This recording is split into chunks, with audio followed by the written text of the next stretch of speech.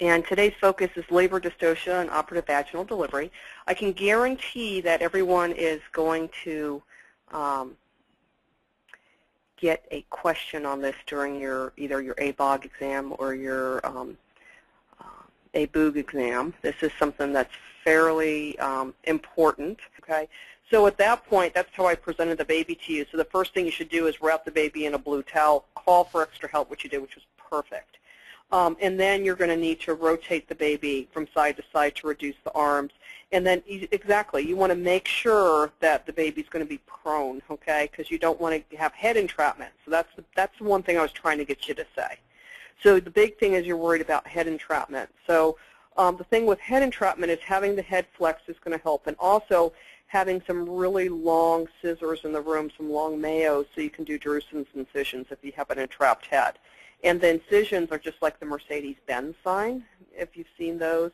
So um, 2, 10, and 6 is where you make your incision if you have an entrapped head.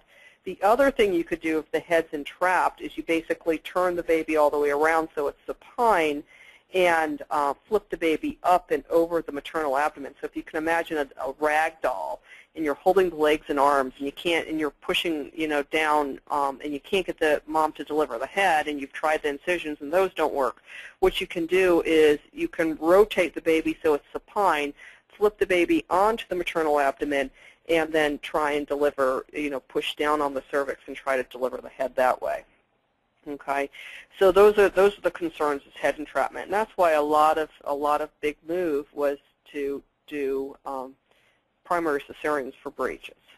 Okay, but other than that, I think you answered perfectly. I know you kind of felt a little bit awkward, but um, definitely having the the steps for a breech delivery memorized is going to really help.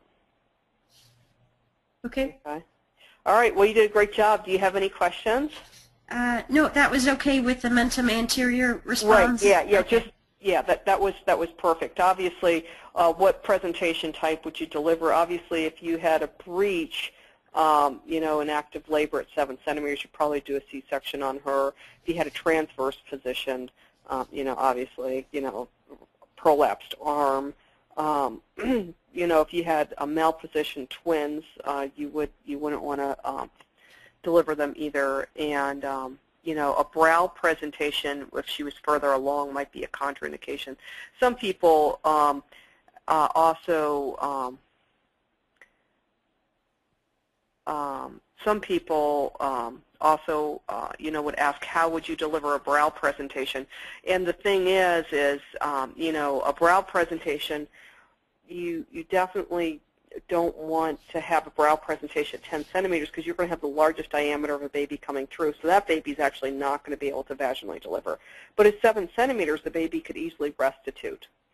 So that's what I would say. At 7 centimeters brow presentation, you know, there's a, there's a possibility of converting to face presentation.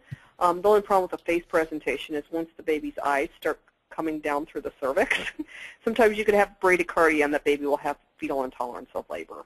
Um, but you know, for a mentum anterior, that would be someone that would be fine to deliver. A mentum posterior, um, you know, would be uh, definitely a contraindication.